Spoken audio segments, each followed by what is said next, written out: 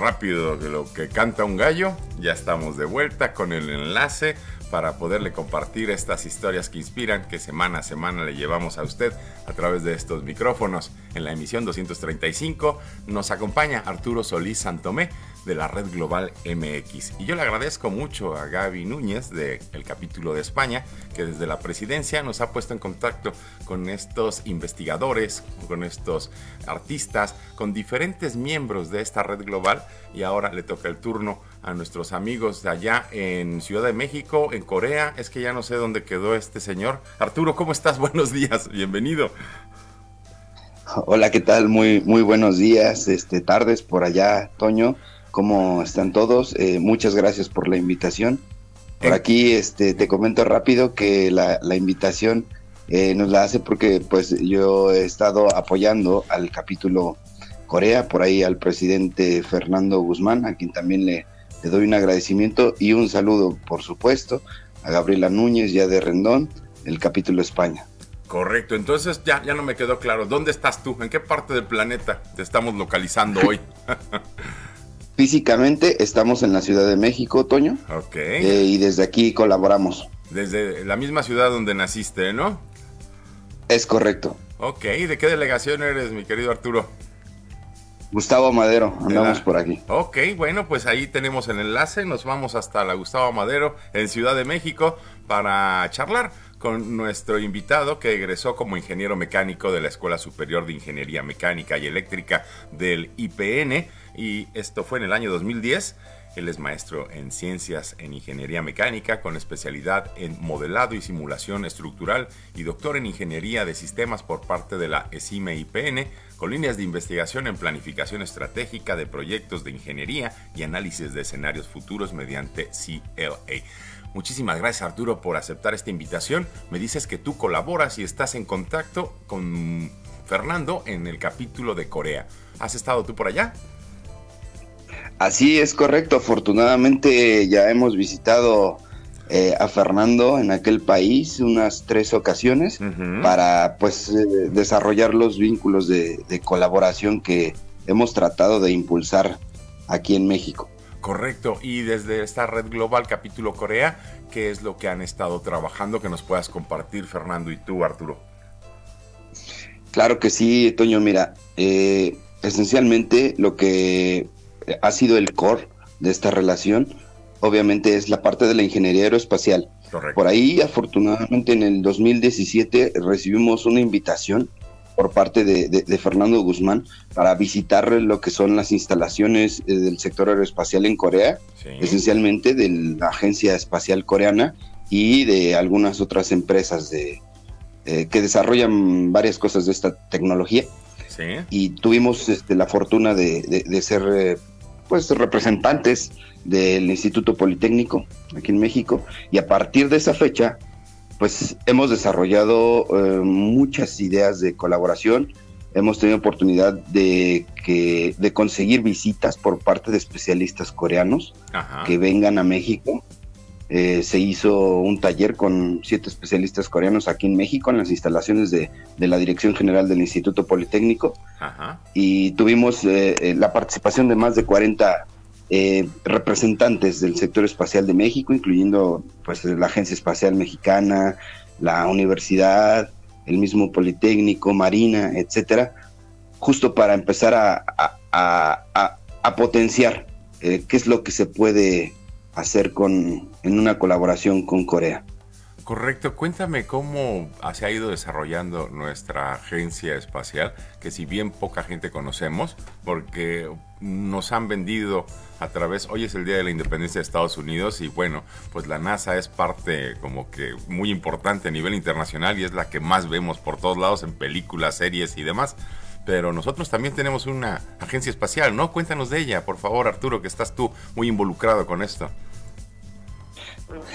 Sí, Toño, eh, esencialmente pues NASA es como una especie de ícono en, la parte histórica del sector espacial a nivel mundial y pues sí tiene mucha mucha presencia por todos lados y tienen desarrollada toda la capacidad para poner vehículos eh, en órbita en cualquiera de los sentidos, es decir, es muy fuerte su, su eh, consolidación. Y como tal, eh, te platico que aquí en México, desde el 2010, se lograron esfuerzos. Eh, obviamente a nivel político, esto tiene mucha, mucha, mucha este, injerencia política para consolidar lo que es de manera legal una agencia espacial mexicana. Entonces, a partir del 2010, se han estado desarrollando diversos esfuerzos, muchas iniciativas para desarrollar y para detonar lo que sería un sector espacial en México. Como tal, eh, te platico que pues es, difícil, es difícil el tema del sector espacial porque requiere inversiones muy grandes. Es, está considerado un sector estratégico el sector espacial. Correcto. Entonces, como tal, eh, energía o transporte, pues son sectores caros en su desarrollo.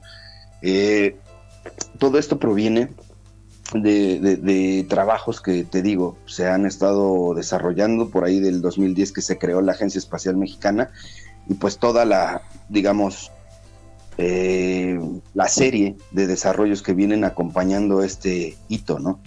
A partir de, del 2010 también aproximadamente se, trabaja lo que es al interior del Instituto Politécnico Nacional, la idea de, consolidar un, eh, un, en una unidad eh, del Politécnico que responda a las necesidades del sector espacial y pues tienes casi casi a la par la creación del Centro de Desarrollo Aeroespacial del Politécnico, que es donde estuvimos colaborando y se ha dado todo este tipo de, situación de, de, desarrollarnos en lo aeroespacial.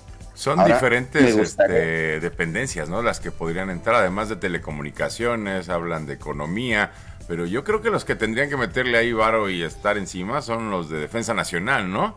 Que ya has tenido tu oportunidad de trabajar con ellos. Sí, es correcto, Toño. Eh, en esencia, pues es un sector donde debería participar la, defensa a nivel de decisión, pero la estructura política, pues no, no tiene incorporada esa parte porque la agencia quedó consolidada como un organismo descentralizado de la Secretaría de Comunicaciones. Ah, sí, no, están, no están vinculados, pero pues qué raro, ¿no? Porque pues yo creo que al final, al momento de que están haciendo contacto con, en este caso, satélites y esto que está fuera del espacio, pues tienen que utilizar el espectro radioeléctrico, ¿no?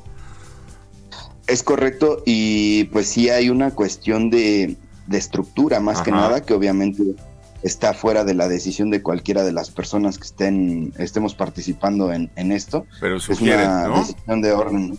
Y claro, si quiere que sea una, eh, una agencia espacial, debe tener una estructura directa, es decir, donde, donde, donde estén en su consejo, eh, pues todas las dependencias eh, involucradas. Que se vean involucradas. Claro, como Corea, eh, te platico rápido el caso de Corea. Eh, Corea es parte del Ministerio de Ciencia y Tecnología, la, agencia espacial, bueno, su, su, agencia espacial. Entonces, a partir de este Ministerio de Ciencia y Tecnología, quienes están involucrados, pues obviamente es Defensa, es el Ministerio de Economía, mm, las secretarías de Estado que tienen un nivel de decisión más de más alto orden. Claro, bueno, como que todavía estamos un poco en, pañales, ¿no? En nuestro sistema de defensa ahora mismo están construyendo aeropuertos y trenes y están plantando arbolitos y están haciendo al pendejo, mientras podrían estar invirtiendo en estas cosas. Tú eres miembro del Sistema Nacional de Investigadores del CONACID, entonces pues tendrás también eh, ahora mismo, habrás visto que pues se les ha cortado también muchos fondos, ¿no? Definitivamente los proyectos eh, que lleva, digamos, el gobierno federal ahorita tienen una mayor eh, carga hacia otro tipo de sectores y efectivamente en ciencia y tecnología pues han existido muchos cambios, ¿no? Al interior del, del ministerio han cambiado mucho los apoyos que se llevan a las líneas de investigación, últimamente pues están demandando por ahí algunos colegas que están en el extranjero que los dejaron sin becas, ¿no? Las becas que luego da el CONACYT para el extranjero. Sí. Entonces, esto es, esto es lo que se está reportando al interior del país, que pues bueno, desconozco por qué sean estas decisiones. Bueno, en cualquier momento este espero que lo retomen y sobre todo que pues ese dinero que ya estaba etiquetado para ciencia y tecnología pues regrese para estos investigadores que como bien dices están luchando afuera de nuestras fronteras para poder desarrollar y aterrizar sus proyectos científicos y que pues sabemos que ese dinero se está usando ahora pues, para diferentes programas sociales, clientelistas. En estos años de experiencia que tienes, has tenido oportunidad de salir a diferentes países, ¿no? Estuviste trabajando de cerca con empresas de telefonía en Chile, en Estados Unidos, en Brasil, en México. De estos, ¿en dónde te tocó ir a aterrizarlos, Arturo, estos proyectos? Sí, mira, eh, todos estos proyectos se manejaron de forma remota. Entonces, digo, la tecnología ya permite a las empresas reducir los costos. Correcto. Y hemos, los hemos manejado desde México.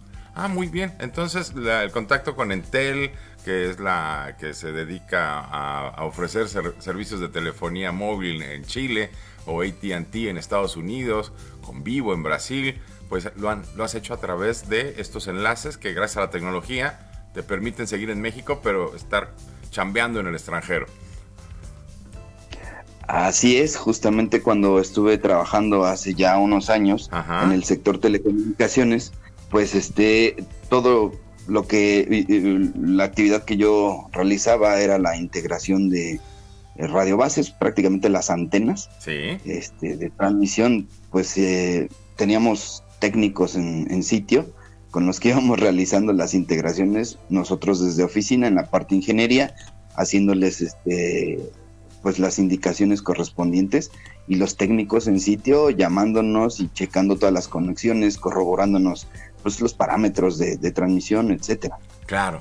Sí, eh, mira, yo trabajé muchos años en radio y más o menos me ha tocado desde ahora sí que de las frecuencias que nos asignan a nosotros, eh, hacer este tipo de instalaciones para enlaces, radioenlaces. En aquellos entonces pues no había oportunidad de agarrar el satélite, era carísimo, entonces andabas buscando enlaces en frecuencias bajas, que son las que otorgaba la Secretaría de Comunicaciones. Y, también es algo que me encanta y me apasiona, ¿no? Porque al final es, trabajar con el espectro radioeléctrico y pues no sabemos la cantidad de señales que andan por ahí rondándonos, ¿no? que dicen que nos da cáncer con esto, yo no lo creo, pero ya me dirás tú. Definitivamente es muy interesante todo esto del espectro radioeléctrico, yo creo que es la base, la base de muchas cosas. Eh, a fin de cuenta, pues se entiende que los organismos reguladores controlan todo lo que es la potencia con la que están radiando las señales. Definitivamente, eh, todas las, las personas que trabajan en antenas, deben de tener una cierta protección. Obviamente porque se acercan mucho, ¿no? A donde están las fuentes de radiación. Claro. Y se entiende que todo lo que permea, la señal que permea, digamos, eh, las, eh, las eh, células, las células donde se va distribuyendo la señal, pues están controladas de tal manera que no tienes un efecto celular. Sin embargo, te puedo platicar que existe algo que se llama contaminación electromagnética. Ah, sí. Entonces, sí, sí es cierto. Científicamente está, es, claro, científicamente está comprobado que, por ejemplo, personas que sufren de trastornos del sueño, muchas veces no se debe a un descontrol este, físico, sino es más bien porque sus habitaciones, eh, los lugares donde, digamos, este, está la cabeza cuando se acuestan en la cama, probablemente afuera tienen líneas de tensión muy fuerte, tienen algún generador eléctrico muy fuerte que justamente genera grandes campos magnéticos y obviamente interviene la cuestión de...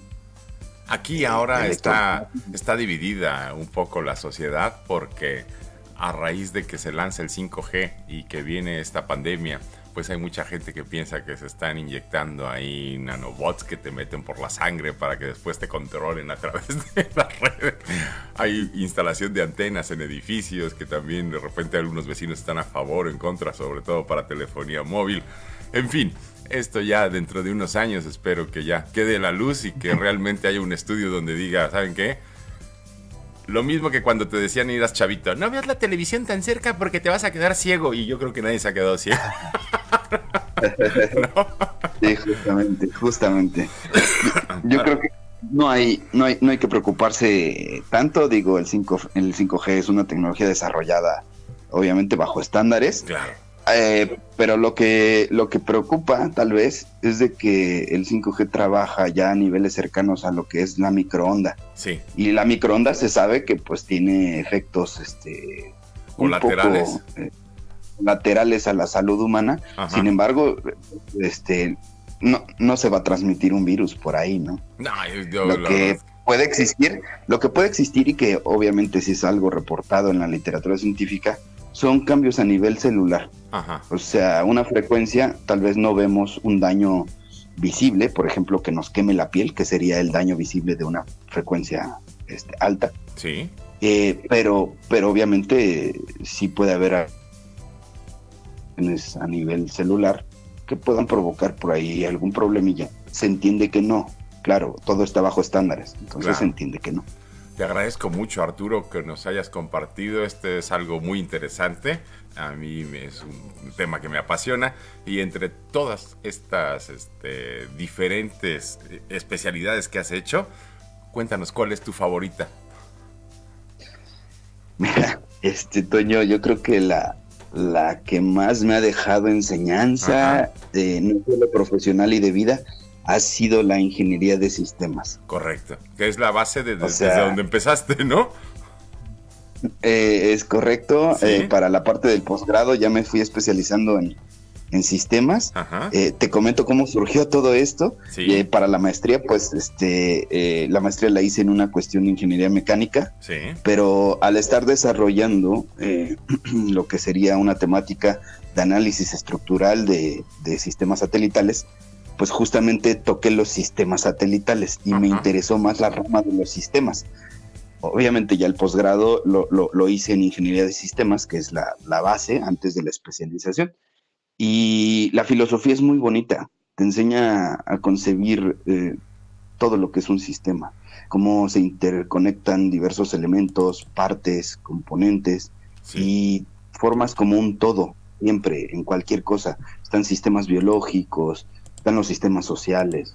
Entonces, esta ha sido la, la, la, rama de la ciencia que más me ha apasionado. Y que te ha atrapado y con la que te sientes más a gusto. Pues mira, qué bueno que nos lo compartes.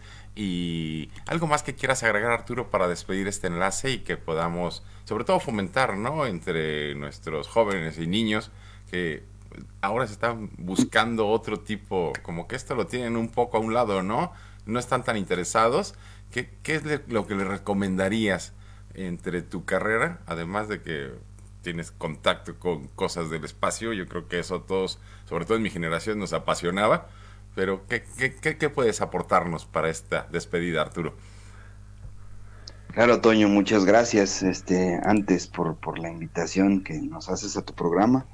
Eh, yo creo que algo que puede ser un factor de inspiración para las personas. Una es de que por medio de la ciencia pueden llegar a hacer cosas muy ah, importantes y muy buenas para, para uno mismo. El hecho de desarrollar conocimiento eh, yo creo que es algo vital, ¿no? Sobre todo en estos tiempos tan difíciles, estamos sumergidos en un mar de confusión. Claro. Un mar de confusión justamente porque ya hay un acceso muy Ah, muy amplio a la información, pero también eh, las personas muchas veces no tienen un criterio adecuado para discernir qué información es correcta, qué información es incorrecta. Yo creo que aquí es donde entra la ciencia, ¿no? Eh, obviamente lo que viene al futuro es todo lo de tecnologías avanzadas. Sí. Se viene muy fuerte un mundo digital eh, todavía más avanzado al que conocemos. Más robusto. Viene, y viene una, un tema justo con lo que comentábamos, el 5G, va a posibilitar la interconexión de lo que le llaman eh, la industria 4.0. Entonces, este concepto nos va a llevar a que muchas de las cosas que conocemos se manejen de forma autónoma, se manejen de forma digital. Se va a transformar las ciudades, se van a volver ciudades inteligentes. Sí. Es decir, vamos a tener un mundo futurista eh, tal vez no como en las películas de ciencia ficción, tal vez sí, no lo sé. Pero, poco a poco, ¿no? definitivamente, sí. Hoy, hoy, hoy una de nuestras colaboradoras, Claudia Luna Palencia, estuvo en el Mobile, este, en, esta feria que hay de, móviles de Barcelona, y nos reportaba que lo vamos a poner más adelante, de una cafetera que ya no tienes tú que tocarla, ¿no? Que con la vista puedes decidir si quieres un cappuccino, un espresso o un café normal, que dices tú, wow, cómo desde la tecnología pues pueden llegar estas cosas, ¿no? sí, definitivamente el avance, que se está dando en esto de las tecnologías de reconocimiento óptico, pues ya permiten a través del movimiento de los ojos interpretar diversas señales, con lo cual pueden resultar este tipo de, inventos. inventos. Arturo, te agradezco mucho y pues yo creo que te tocó a ti. de qué año eres, Arturo? 1986. Ah, pues mira, yo creo que también te tocaron esos anuncios de echa a volar tu imaginación, ¿no? Ya sabes. Con estos de... Algunos por ahí de... Juguetes mi alegría, ¿no? Que eran muy didácticos. Claro.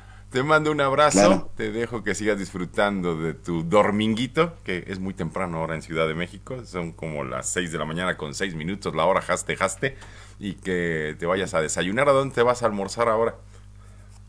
Pues mira, yo creo que vamos a ir por, con la familia, no sé todavía dónde exista la decisión, pero hoy es domingo de familia. Muy bien, pues disfruta con tu familia Arturo y esta es tu casa, seguimos en contacto y espero que podamos seguir compartiendo de estos temas científicos y de conocimiento que te agradezco mucho que nos hayas regalado estos minutos. Hasta la próxima. Al contrario, Toño, un abrazo, muchas gracias a ustedes y un saludo al auditorio. Gracias, adiós. Bye.